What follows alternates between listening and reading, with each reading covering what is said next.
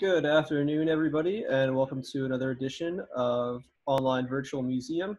Uh, today we're joined by Shari Stout from Smithsonian's National Museum of American History. Uh, thank you for joining us, Shari. I'm glad to be here. She'll be doing a presentation on some historic mining photography that was taken in Pennsylvania. Um, it was actually commissioned by the Smithsonian, and she'll go into a little bit of the history about that. Um, if you guys are interested, there's also some other programming coming up uh, later on this week. You can check out nmih.org for more information on some of our other programs that are coming up. And we're adding new stuff all the time, so please check back uh, either on our Facebook page here or on our website. Um, there's also a couple ways that you can help out the museum while we're shut down right now. You can either buy a membership, uh, which will last you uh, from a year from the date that we reopen. Um, if you're using Amazon to, you know, get your uh, toilet paper or Lysol wipes delivered, uh, you can use Amazon Smile, and that'll um, donate a portion of your sales to the museum. Um, we have ebooks. You can shop our gift shop, adopt artifacts. There's a couple different ways that you can help support the National Museum of Industrial History uh, while we're shut down. Um, so we appreciate any help that you can give right now. And again, you can check out the programs uh, and ways you can help us out at nmih.org. And without further ado, I'll pass it over to Shari here, and I hope you guys enjoy the presentation. Thanks, Shari. Good morning, everybody. Um, I am delighted to join the virtual National Museum of Industrial History, and I'm happy to be part of one of their speaking programs. I'm Shari Stout.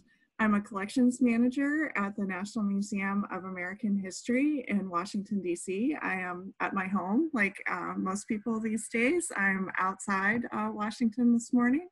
Um, what I do when I'm working at the museum, I care for the collections at our offsite storage facilities um, which includes pretty much everything in the collections. But over the course of my career, I've worked very closely with objects like trains, cars, clocks, phonographs, um, things in the food technology collections, whaling, and of course the mining collection. I take care of collections and storage, but I have also worked on preparing and installing exhibitions. When I started at the museum, I didn't know anything about mining um, and the objects in that collection. I'm from Virginia and I'm descended from farmers and blue collar workers, and my dad was a UPS man. But I've gradually learned about mining and things like mining lamps because we have a deep collection of mining artifacts, mainly from the anthracite coal region in Pennsylvania, and it goes back to the 1880s. The collection contains mining lamps, hats, company script, surveying equipment, clothing, and archival material. The reason we have some of that collection has to do with the story I'm here to tell you today. There's a show on television called Secrets of the Museum or Museum Secrets, and every so often I find myself watching that program, and sometimes they squeeze something into those 30 minutes that I'm not really sure is a secret. It's more just a good story. But Secrets of the Museum sounds good, doesn't it? And I hope when I'm done today that you'll have a little bit of that. I'm not revealing a secret, but I do have a good story to tell. And it all took place near Bethlehem and in around Pottsville, Pennsylvania without the coal miners and their ingenuity and the ingenuity of the people from the coal region, along with the ingenuity of the people from the Smithsonian, we wouldn't have a story. And there's quite a few strands to the story, so just sit back, let me weave it together, and maybe that'll distract you from uh, what's going on all around us right now. In the late 19th century, there were a series of World's Fairs. The big one was in Philadelphia in 1876 for the centennial. In fact, at NMIH, there are objects from the 1876 World's Fair, including a fabulous display of metal files on red fabric, which is one of my favorite objects. So when the museum reopens, maybe you can take a look at those. The Smithsonian would both put on big displays of artifacts at these fairs, but we would also collect from them. Often we'd take away railway cars full of artifacts from the fairs. For our story today, we're looking at the New Orleans Fair in 1884. Its official title was World's Industrial Cotton Centennial Exposition, and the theme was celebrating the 100th anniversary of the earliest shipment of cotton to Europe. All of these expeditions were fantastic affairs with enormous buildings that were always the biggest built at the time and fantastic feats of engineering. All of the industries in America sent the best and brightest with their newest inventions and technology. The Liberty Bell was even shipped to New Orleans and displayed there. Unfortunately, The 1884 Expo was notorious for the fact that the gentleman who organized it embezzled $1.7 million from it and skipped the country afterwards. But that's another story. For our purposes, the fair itself was quite successful, visited by huge numbers of people, and as usual, the Smithsonian prepared a very large display, which included an exhibit on coal mining. The curators wanted people to know how things worked, where things came from, and especially regionalize things like coal. Everyone used coal and needed coal, but very few people knew the science of it, or more importantly, how it was mined, where it came from, and how it got into everyone's homes. Enter the US National Museum. At the same time that the Smithsonian was preparing exhibits for these big exhibitions, they were building their first new museum on the National Mall and preparing exhibits for the new museum building. This is the US National Museum, and today we refer to this building as the Arts and Industries Building. It is next door to the castle, the original Smithsonian building. Here's a photo of the castle and the National Mall in 1865 at the end of the Civil War and in the very early days of the Smithsonian. By the 1880s, the Smithsonian was expanding and needed a new building. It was referred to as the U.S. National Museum under the guidance of our second secretary, Spencer Baird, who came from Reading, Pennsylvania. The museum was employing people like Frederick P. Dewey, curator of mining and metallurgy, to install exhibits in the new building. Some exhibits. And here this is a slide of an individual that we are pretty sure is Frederick Dewey, working and performing experiments either in the castle or the A&I building. It's Dewey who wants to represent all aspects of mining. He wants to collect objects like miners' tools and clothes, but he also wants pictures taken of everything so that they can be installed in New Orleans and the Smithsonian's mining display to depict American for the um, to depict mining for the American public. He sends a man who works for him to Pennsylvania. His name was John Templeman Brown. Brown enlists the talents of Pottsville photographer George Bretz. By the time they're doing this, it's already the end of the summer in 1884, and they must have been under the gun to get the photos done, get them back to the Smithsonian, and then install them in the displays in New Orleans. I always think that moves, things moved slower in the 19th century, but in reading about this, I'm not so sure. You now need to know a little about George Bretz, if you haven't heard of him already. George Bretz opened his photo studio in Pottsville in 1870, across the street from another photographer. Bretz expert Tom Beck thought that both studios succeeded because they worked together, which is probably something we could all take a lesson on. Apparently, Bretz had artistic talents, making drawings and possibly busts. He photographed local politicians, made stereo views with his neighbor, and gained fame from photographing the Molly Maguires before they were hanged. He sold those photos as carte de visites. What else was the Smithsonian doing here? As I mentioned, the Smithsonian, specifically curator Dewey, wanted to collect the picture of what working in a mine was like. He did this for all types of mining, and he sent Templeman Brown here to collect on anthracite mining. He sent museum staff or agents across America and published an anthology in 1891, which includes Bretz's photos in the section discussing anthracite coal. They collected items they could put in the museum, such as lamps and clothing, but then they wanted to photograph the aspects that they couldn't actually collect or take from. And this is where the photography comes in. It appears that Dewey thought that it was possible to photograph inside the mine and expected Templeman Brown to just do it. And Brown's letters indicate that he was frustrated and wondered how he would photograph the interior of a mine from which the rays of the sun were, quote, alien. They chose the Kohinoor mine. Sorry, there's a photo of the mine. And here, uh, McGuire's. And here's the Kohinoor colliery. They chose this Kohinoor mine at Shenandoah because it was the thickest seam of coal known at the time. This mine had penetrated the Mammoth coal seam. A particular portion of the mine was chosen in which a thickness of 42 and a half feet of coal was exposed, and part of the roof had recently been blasted away, along with some of the supporting pillars of coal. A process referred to as robbing the mine This area was 500 feet below the surface. So let's talk a little bit about the history of, the under, of underground photography. Apparently by this time in 1884, some underground photography had been accomplished, both in Europe and in America, by using magnesium wire. A photograph had been taken in Mammoth Cave in Kentucky using that particular method. So they attempted to light the mine at Kohinoor using magnesium wire, but it failed. I'm guessing it was just too black, but the reasons are not outlined anywhere that I can find. The management of the mine, Philadelphia and Reading Coal and Iron Company, and of course the Smithsonian were very keen for this to succeed, so they pursued finding a way to electrically light the mine. So the Arnault Electric Light Company supplied the electric equipment and ran the operation. And now this would be the first time anyone would use electricity to achieve underground photography. So how did they do it? There were five lights, each generating 2,000 candle power. 10 reflectors were, replaced, were placed behind the lights. Originally, they were going to put the dynamo, which is what this is a photo of. This is the unit to generate the electricity at the air compressor house, which would have been above ground. But the wire was too short, so they had to take it the 500 feet underground. It took six hours to put it in the rail car, get it in the mine, and set it up. It used a compressed air engine with two flywheels, and you can see the flywheels in this photo, and required 4,000 feet of wire to complete the electrical circuit.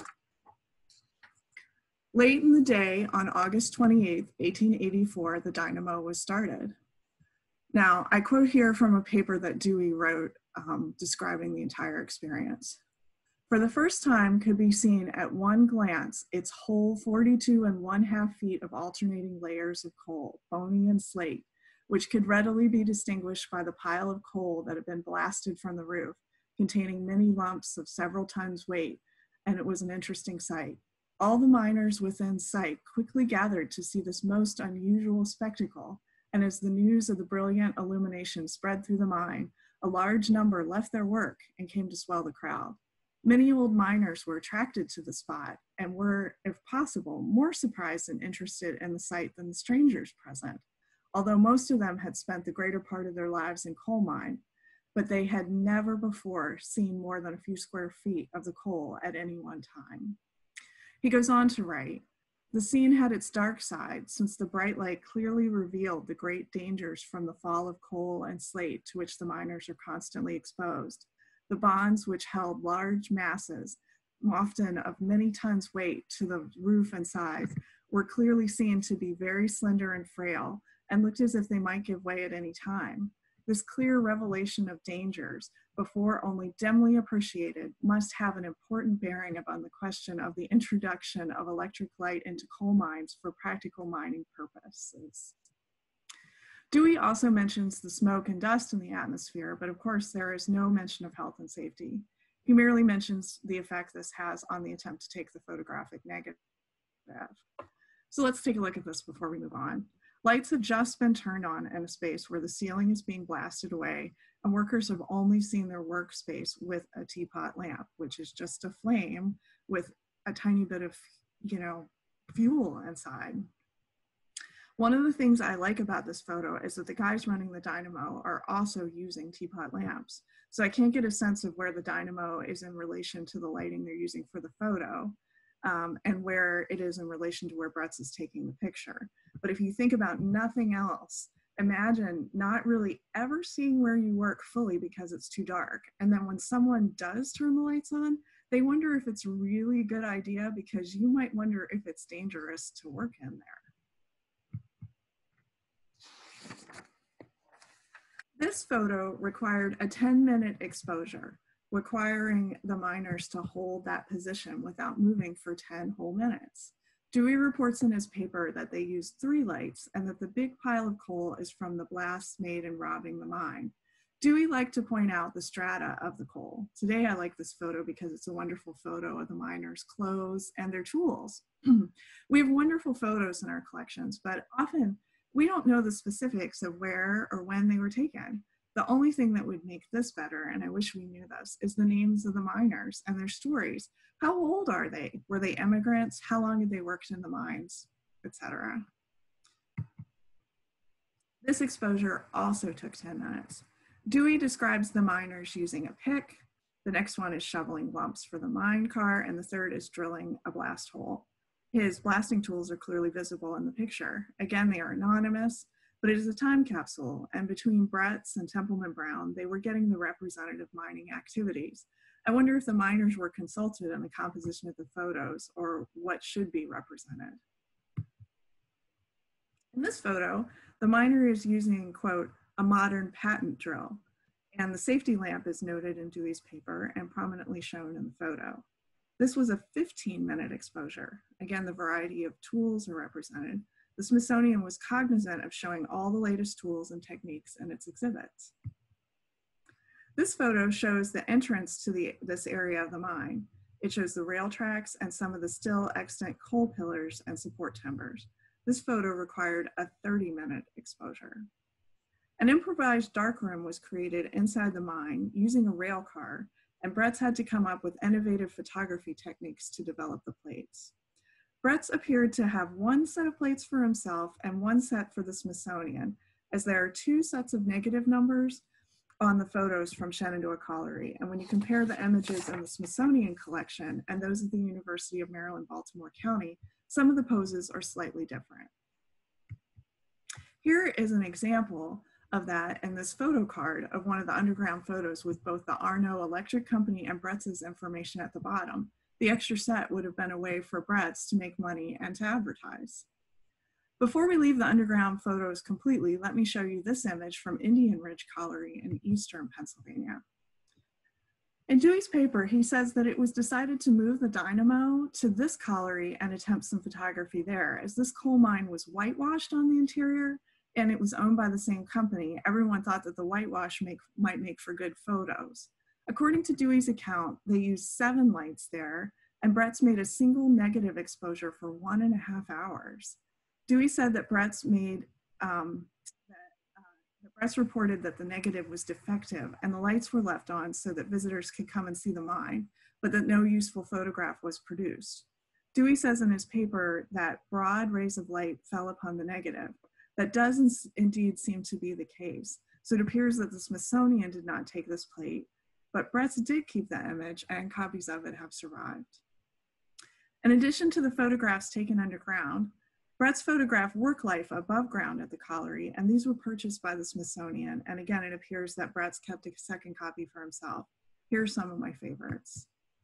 This is Breaker Boys. Here's the mine entrance. Here are mules with the cars. Here's management, bosses talking, and note the difference in the clothing. Here are workers in the car. I think that's probably one of my favorites. So what happened next? The underground photos were indeed sent to the exhibit in New Orleans. Not only that, they were enlarged to the size of 30 inches by 40 inches. They were such a success that I believe that after New Orleans, the enlargements were displayed in the US National Museum for a time. Based on what Dewey says in his paper he read in 1887 and published in 1888, it appears that John Templeman Brown passed away sometime between 1885 and 1887. Frederick P. Dewey went on to research and publish his illustrated catalog of the mining and mineral collections at the U.S. National Museum. But by the time it was published in 1891, he was no longer employed by the Smithsonian. And by the 1910s, the museum was led by curators interested in technology, represented more by models than by specimens, and some of the collections Dewey brought in were discarded. Happily, many of his mineral collections are now at the Natural History Museum, and to my delight, we uncovered the original glass print negatives of the underground photo shoot in cold storage, along with many file prints. A few of the objects he, collection, he collected also remain in the collection, including these mining lamps. The copper lamp is especially wonderful. That's one of my favorite objects. George Bretz was a prolific photographer, photographing the people of the region, producing portraits and landscapes that captured the history and flavor of the anthracite region. In my opinion, the photo and the collection that um, this photo in the collection of UMBC epitomizes his skill.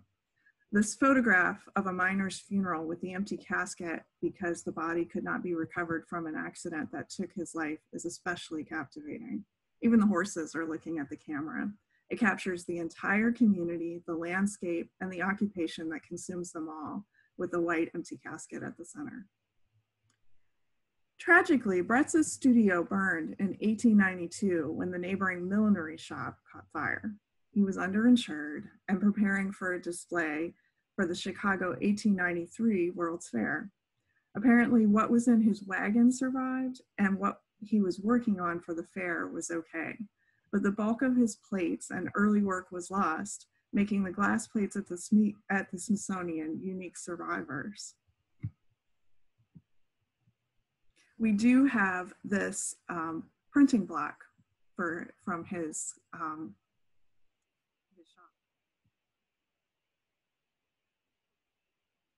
Here's a photo of the building at the World's Columbian Exposition, built exclusively for the display of the mine and mining materials.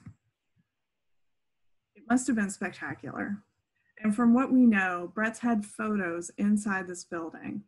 Here, there is some indication he may even have remounted the underground photos in the display in 1893. Bretz died in 1895 at the age of 53, just a few years after the fire. There's a collection of Bretz's material online at the UMBC site, and a book published about him and a full and full of his photos is um. A blog I did some years ago about the underground photos has since been picked up by other websites in this area, and the Smithsonian's photos are all available online. Years after Dewey and Bretz were gone, a new curator came to the museum, and his name was John Hoffman. He was from the anthracite area and envisioned a coal hall at the National Museum of American History. He revived the museum's collection of anthracite objects, including the Bretz photos, but that is a story for another day. Back to you, Glenn.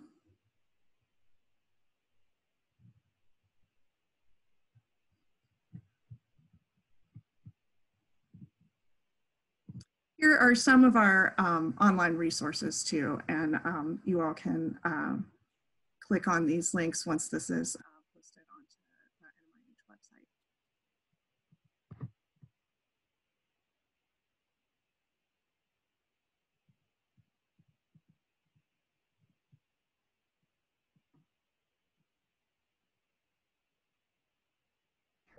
Sorry, Shari, didn't realize I was muted. thanks so much for joining us uh, for this presentation. I was just looking at our uh, Facebook comments. I don't think we have any uh, any questions so far, so um, I think we're good. Thanks again for joining us, and uh, thanks everybody out there that uh, came to the presentation or is watching it afterwards. Uh, again, if you're looking for more programming, you can check out our Facebook page um, or our website at nmih.org and just click on the virtual museum link there. Um, and also there's a couple of different ways that you can help support the National Museum of Industrial History uh, while we're currently closed. Um, whether it's buying a museum membership, adopting artifacts, or using Amazon Smile to help donate to the museum. Um, hope everybody enjoys the rest of their day and have a great afternoon. Thanks again, Shari. Thank you. Everybody have a great day.